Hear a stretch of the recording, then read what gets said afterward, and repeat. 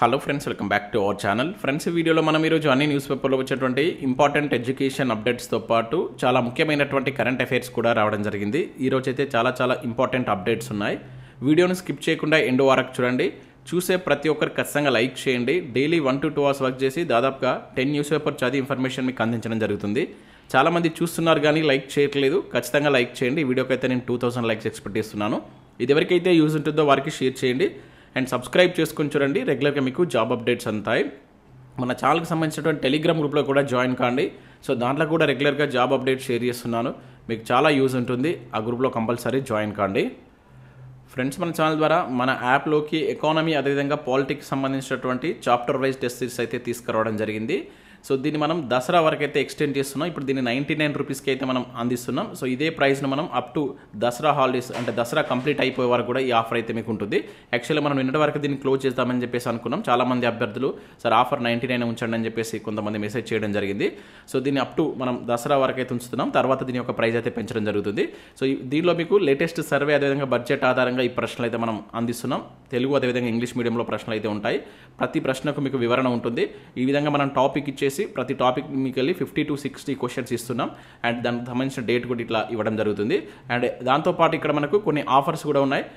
Group two group త్రీకి సంబంధించిన rapid revision courses కావచ్చు అదే ఫారెస్ట్ బీట్ ఆఫీసర్ కోర్స్ సంబంధించి కావచ్చు కానిస్టేబుల్ అదేవిధంగా ఎస్ఐకి సంబంధించి టెట్ టు డిఎస్సికి సంబంధించిన వాటిపైన కూడా మనం ఈ దసరా సందర్భంగా వీటి యొక్క ప్రైజెస్ ఇదే రకంగా ఉంచుతున్నాం. ఎవరైనా కావాలనుకుంటే ఇమీడియట్గా తీసుకురావడం ప్రయత్నం చేయండి.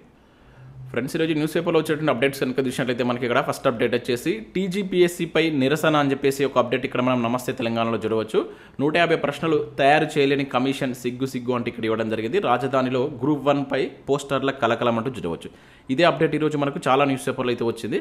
ఇక్కడ మనం చూసినట్లయితే హైదరాబాద్లోని నాంపల్లి టీజీపీఎస్సీ కార్యాలయం కావచ్చు హిమాయత్ నగర్లోని తెలుగు అకాడమీ వద్ద శుక్రవారం వెలిసినటువంటి గ్రూప్ వన్ పోస్టర్ పోస్టర్లు కలకలం సృష్టించాయి. ఆయా చోట్ల గేట్లు కావచ్చు గోడల గోడలకు ఎవరో గుర్తు తెలియని అగాంతకులు వాటిని అంటించారు.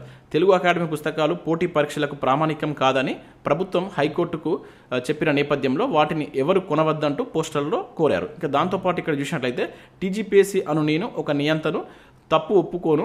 గ్రూప్ వన్లో నూట యాభై ప్రశ్నలు తయారు చేయలేని తెలంగాణ పబ్లిక్ సర్వీస్ కమిషన్ ఎందుకు సిగ్గు సిగ్గు? తెలంగాణ పబ్లిక్ సర్వీస్ కమిషన్ తప్పులతో నిరుద్యోగులకు ఎన్నో తిప్పలు అంటూ పోస్ట్లో ఆ పోస్టర్లో రాసి ఉన్నదని చెప్పేసి ఇక్కడ ఏం జరిగింది అంటే ఆ పోస్టర్లో ఈ రకంగా వాళ్ళు రాసినట్లు ఇక్కడ తెలిపారు. అండ్ దాంతోపాటు ఈ వ్యవహారం ఆయా చోట్ల చర్చనీయాంశంగా మారింది. తెలుగు అకాడమీ వద్ద వెలిసినటువంటి పోస్టర్లను నారాయణగూడ పోలీసులు తొలగించి వాటిని అంటించిన వారి గురించి ఆరా తీస్తున్నట్లు ఇక్కడ మనం చూడవచ్చు. ఇదే అప్డేట్ ఈరోజు మనకు చాలా న్యూస్ పేపర్లు దీనికి సంబంధించి అయితే రావడం జరిగింది. ఇక్కడ టీజీపీఎస్సీ కార్యాలయం వద్ద పోస్టర్ల కలకలమంటూ జరగవచ్చు. చూడవచ్చు తెలుగు అకాడమీ కార్యాలయం వద్ద కూడా తొలగింపు చర్యలకు చేపట్టి తొలగింపు చర్యలు చేపట్టినటువంటి అధికారులు అని చెప్పేసి అప్డేట్ ఇక్కడ మనం చూడవచ్చు. ఇంకా నెక్స్ట్ నోటిఫికేషన్ ఇచ్చాక రిజర్వేషన్ల పెంపు చెల్లదు. పరీక్ష నిర్వహణలో టీజీపీఎస్సీ విఫలమవుతుంది. పిటిషనర్లు గ్రూప్ వన్ పిటిషన్ పిటిషన్లలో వాదనలు పూర్తి తీర్పు రిజర్వ్ వంటికి జరగవచ్చు. సో గ్రూప్ వన్కి సంబంధించిన తీర్పును అయితే మనకు ఈ నెల ఫోర్టీన్త్కి అయితే రిజర్వ్ చేయడం జరిగింది. సో ఆ రోజు మనకు ఫైనల్ తీర్పు వచ్చేటువంటి అవకాశం అయితే ఉంది. ఇక్కడ చూసినట్లయితే గ్రూప్ వన్ ప్రిలిమరీ పరీక్ష రద్దు చేయాలని ఎస్టీ రిజర్వేషన్లు ఆరు నుంచి పది శాతానికి పెంచ పెంచడం కుదరదని తప్పుడు ప్రశ్నలు తొలగించి మళ్ళీ ఫలితాలు విడుదల చేయాలని కోరుతూ దాఖలైనటువంటి పలు పిటిషన్లపై తీర్పును రిజర్వ్ చేస్తున్నట్లు హైకోర్టు శుక్రవారం ప్రకటించింది. అయితే పిటిషనర్ తరపున న్యాయవాదులు జే. సుధీర్ కావచ్చు శివ వాదనలు వినిపిస్తూ టీజీపీఎస్సీ పరీక్షల నిర్వహణలో తరచూ విఫలం అవుతుందని ఆరోపించారు. సో నోటిఫికేషన్ ఇచ్చిన తర్వాత మధ్యలో రిజర్వేషన్ల పెంపు జీవో చెల్లదని ఇప్పటికే ఇచ్చినటువంటి నోటిఫికేషన్కు కొన్ని పోస్టులు కలిపి అందరికీ మళ్ళీ అవకాశం ఇవ్వడం నిబంధనల విరుద్ధమని చెప్పేసి తెలిపినట్టు చూడవచ్చు. టీజీపీఎస్సీ తరపున special D GP Rahul Reddy వాదనలు వినిపిస్తూ కొద్ది రోజుల్లో మెయిన్స్ పరీక్షలు ఉండగా చాలా ఆలస్యంగా పిటిషనర్లు దురుద్దేశంతో వచ్చారని పేర్కొన్నారు. సో వాదనలు విన్నటువంటి జస్టిస్ పుల్లా కార్తిక్ ధర్మాసనం ఈ తీర్పును రిజర్వ్ చేస్తున్నట్టు ప్రకటించింది. మనకి ఇది ఫోర్టీన్త్న ఫైనల్ తీర్పు వచ్చేటువంటి అవకాశం అయితే కనబడుతుంది. ఇదే అప్డేట్ ఈ రోజు మనం అన్ని న్యూస్ పేపర్లు చూడవచ్చు గ్రూప్ వన్పై తీర్పు రిజర్వ్ అంటే ఇక్కడ ఇవ్వడం జరిగింది. మరొక న్యూస్ పేపర్లో కూడా గ్రూప్ వన్ పరీక్షలపై తీర్పు రిజర్వ్. ఇరువైపుల వాదనలు విన్నటువంటి హైకోర్టు ఈ నెల ఇరవై ఒకటిన మెయిన్స్ ఎగ్జామ్స్ ఆందోళనలో అభ్యర్థులు అని చెప్పి చూడవచ్చు. ఫోర్టీన్త్ వరకు అది ఎటుంటుందో తెలియదు ఆల్రెడీ సీరియస్గా ప్రిపేర్ అవుతున్న వారికి ఇది ఒక పెద్ద టెన్షన్. ఎందుకంటే అసలు జరుగుతుందా జరగదా అనేటువంటి ఇప్పటికే చాలామంది గ్రూప్ వన్ మెయిన్స్కి ప్రిపేర్ అవుతున్న వాళ్ళు చాలా డిస్టర్బ్లో ఉన్నారు. సో ఈ నేపథ్యంలో ఈ తీర్పు ఎట వస్తుందనేటువంటి ఒక క్లారిటీ లేదు. చూద్దాం మరి ఇది ఏ రకంగా ఉంటుందనేది చూడాలి. ఇంకా నెక్స్ట్ విషయం అయితే గురుకులాలో మరిన్ని బ్యాక్లాగులు అంటూ చూడవచ్చు. సో డిఎస్సికి ఎన్ఓసీలు తీసుకుంటున్నటువంటి ఉపాధ్యాయులు. ఇదైతే చాలా ఘోరం. చాలా వరకు గురుకులాల్లో మళ్ళీ బ్యాక్లాగ్స్ ఏర్పడుతున్నాయి. ఎందుకంటే గురుకుల వచ్చిన వాళ్ళకు ఆల్రెడీ మళ్ళీ ఇప్పుడు డిఎస్సిలో స్కూల్ అసిస్టెంట్ కావచ్చు ఎస్జిటీలు కావచ్చు అండ్ జేఎల్ వచ్చిన వాళ్ళు కూడా ఉన్నారనమాట సో వాళ్ళంతా గురుకులాలో కొంచెం మనకు వర్క్ టార్చర్ ఎక్కువగా ఉంటుంది. కంపేర్ టు డిఎస్సితో చూసుకున్నట్లయితే కొంచెం వర్క్ ఎక్కువ ఉంటుంది కనుక. ఆ గురుకులలో ఉన్నటువంటి వాళ్ళు చాలామంది మళ్ళీ డిఎస్సికి వెళ్తున్నారు. సో దా ఆ నేపథ్యంలో నిన్న నిన్న మొన్న ఎన్ఓసి తీసుకుంటున్నట్టు ఉపాధ్యాయుల యొక్క సంఖ్య అనేది ఎక్కువ ఉన్నట్టు మనం ఆల్రెడీ వార్తల్లో చూసాం. న్యూస్ పేపర్లో కూడా రావడం జరిగింది. నాకు తెలిసినటువంటి నా మిత్రులు కావచ్చు అండ్ మన సబ్స్క్రైబర్స్ కూడా చాలా మంది గురుకులాలో చేరిన జాయిన్ అయిన వాళ్ళు ఇప్పుడు మళ్ళీ డిఎస్సికి వస్తున్నారు అనమాట సో దీనివల్ల అక్కడ చాలా బ్యాక్లాగ్ అయితే ఏర్పడబోతున్నట్లు ఓవరాల్గా ఇది ఇక్కడ అదే ఇచ్చారు. అంతకుముందు కూడా మనకు పద్దెనిమిది వందల పోస్టులు మిగిలాయి. ఎందుకంటే వీళ్ళు ఆ అవరోహణ క్రమం పాటించకపోవడంతో అట్లా పోస్టులు మిగిలాయి. ఇప్పుడు మళ్ళీ డిఎస్సి ద్వారా కూడా చాలా పోస్టులు మిగిలబోతున్నట్లు ఇక్కడ ఓవరాల్గా అయితే రాశారు. అండ్ ఇంకా జేఎల్ ఫలితాలు కూడా ఒకవేళ రిలీజ్ అయితే ఇంకా ఎక్కువ బ్యాక్లాగ్స్ ఏర్పడవచ్చు అని చెప్పేసి దీనిలో అయితే మనకి ఈనాడు న్యూస్ పేపర్లో ఈ బ్యాక్లాగ్కి సంబంధించి అయితే చూడవచ్చు.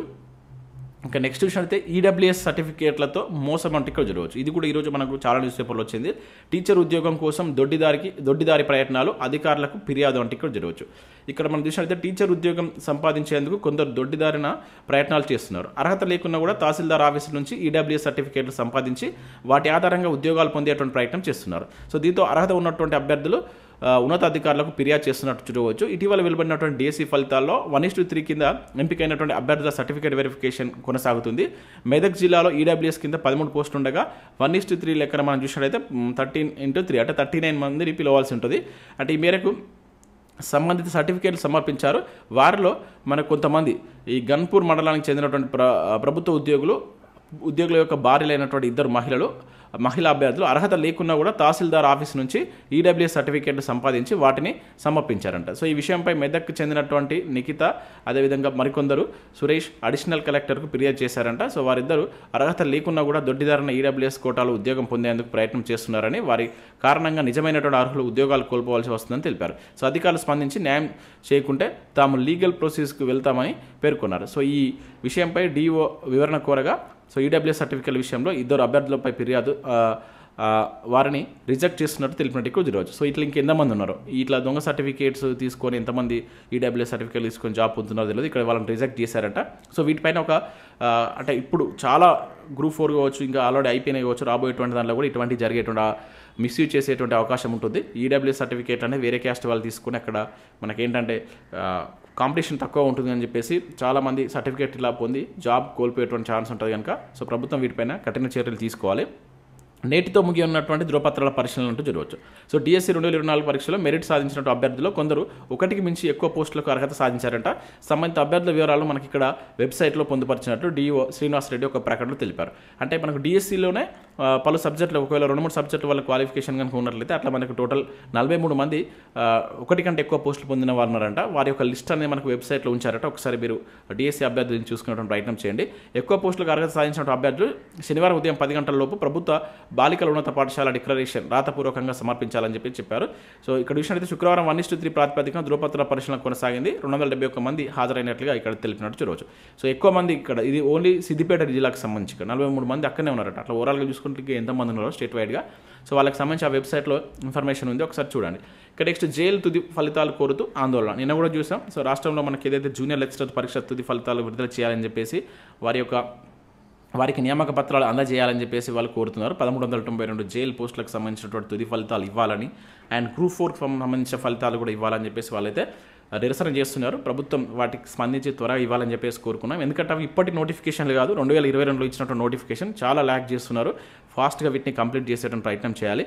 ఇక నెక్స్ట్ విషయం అయితే పరీక్ష వాయిదా వేసి మరిచారు అంటికలు జరగవచ్చు మరిచార అంటికలు జరగవచ్చు ఏడాదిగా నిలిచినటువంటి పంతొమ్మిది వందల ముప్పై ఒక్క ఎంపీహెచ్ ఏఎఫ్ పోస్టుల భర్తీ ప్రక్రియ అని చెప్పి చూడవచ్చు. ఇది మనకు ఇది మెడికల్ డిపార్ట్మెంట్కి సంబంధించిన పోస్టులు. వైద్య ఆరోగ్య శాఖలో పంతొమ్మిది వందల ముప్పై ఒక్క పోస్టుల భర్తీకి ప్రకటన రాగానే సంతోషించి వేల మంది నిరుద్యోగులు విద్య నిరుద్యోగులకు నిరాశ మిగులుతుంది.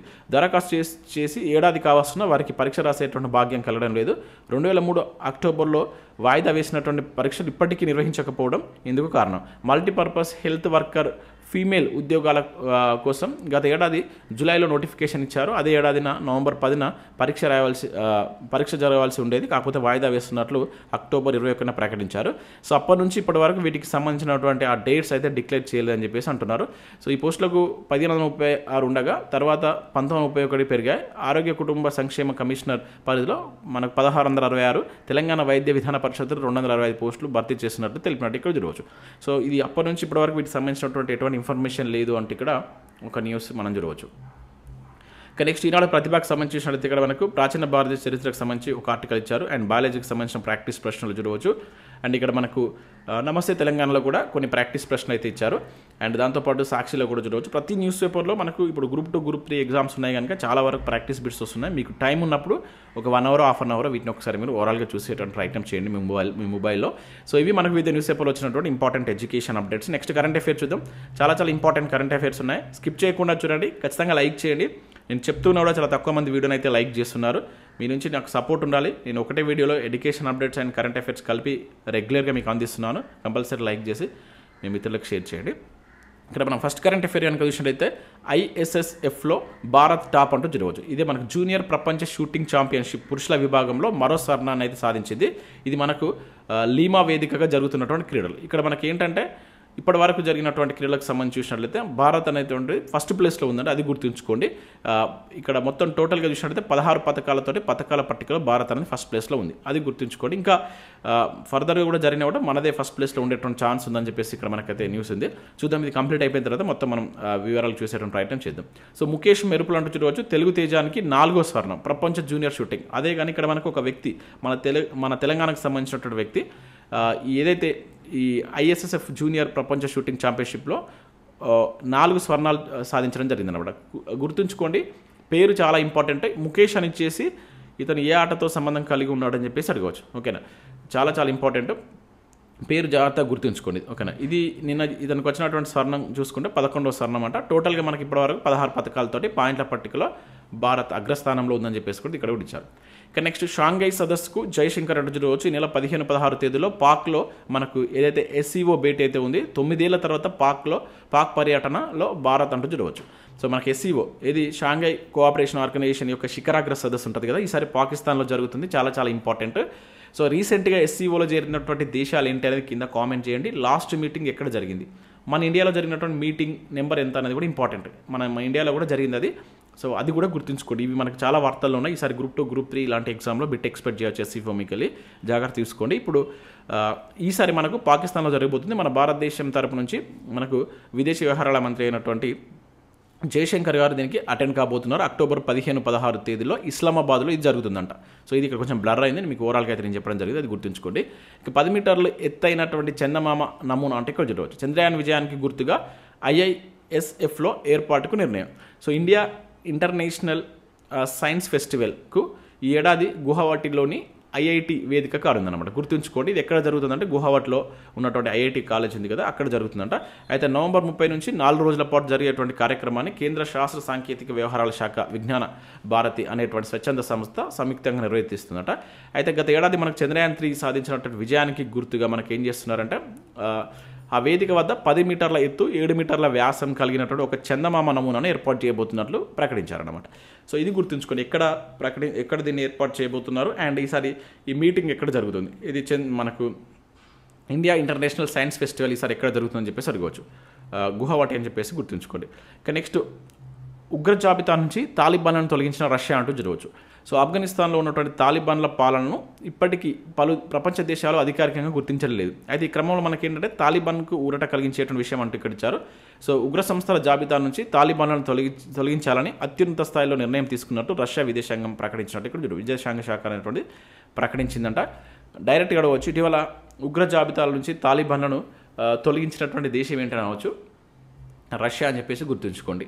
ఇక నెక్స్ట్ యునెస్కో సదస్సుకు Huzurabad degree college associate professor అంటే ఇక్కడ ఒక అప్డేట్ చూడవచ్చు. సో ఉజ్బెకిస్తాన్ రాజధాని తాష్కంట్లో మనకు ఆల్ఫా గాస్ గాన్ గానస్ విశ్వవిద్యాలయంలో ఈ నెల పది పదకొండున జరగబోయేటువంటి ఆసియా పసిఫిక్ విద్యా సదస్సుకు హుజరాబాద్ విద్యార్థి డిగ్రీ కాలేజ్ సారీ హుజరాబాద్ ప్రభుత్వ డిగ్రీ కళాశాల అసోసియేట్ ప్రొఫెసర్ అయినటువంటి కొత్తిరెడ్డి మల్లారెడ్డి ఎంపిక అయినట్లు ఇక్కడ చూడవచ్చు పేరు గుర్తుంచుకోండి. ఏ సదస్సుకి ఎంపిక అయ్యారు ఎక్కడి నుంచి ఎంపిక అయ్యారు అనేది ఇంపార్టెంట్ సో ఇవి మనకు వివిధ న్యూస్ పేపర్లో వచ్చినటువంటి ఇంపార్టెంట్ ఎడ్యుకేషన్ అప్డేట్స్ అదేవిధంగా కరెంట్ అఫైర్స్ వీడియో చూసిన ప్రతి ఒక్కరు కంపల్సరీ లైక్ చేయండి. నేను చెప్తున్నా కూడా చాలా తక్కువ మంది వీడియోని అయితే లైక్ చేస్తున్నారు. మీ నుంచి సపోర్ట్ ఉండాలి. లైక్ చేసి మీ మిత్రులకు షేర్ చేయండి. సో మన యాప్లో ఉన్నటువంటి కోర్సెస్ను అప్ టు దసరా వరకు అయితే ఎక్స్టెండ్ చేస్తున్నా. ఎవరైనా కావాలనుకుంటే తీసుకున్న ప్రయత్నం చేయండి. వన్ నైంటీ నైంటీ నైన్ రూపీస్కి మనం టెస్ట్లు అనేది అప్లోడ్ చేస్తున్నాం. చాలా మంచి రెస్పాన్స్ అయితే ఉంది. ఎకానమీ కావచ్చు పాలిటిక్స్ సంబంధించి. మీకు యాజ్ టీస్గా మనం ఎగ్జామ్ ప్యాటర్న్లో ఎట్లయితే క్వశ్చన్స్ ఉంటున్నాయో వాటిని బేస్ చేసుకుని నేనే స్వయంగా ఈ క్వశ్చన్స్ అనేది చేస్తున్నాను. విత్ ఎక్స్ప్లెనేషన్ తోటి నేను మీకు అవి అందించడం జరుగుతుంది. ఒకసారి మీరు అక్కడ శాంపిల్ టెస్ట్ ఉంటుంది రాయండి. రాసిన తర్వాత నస్తే వాటికి సంబంధించిన కోర్స్ అయితే తీసుకోండి. Thanks for watching thank you ఎవరు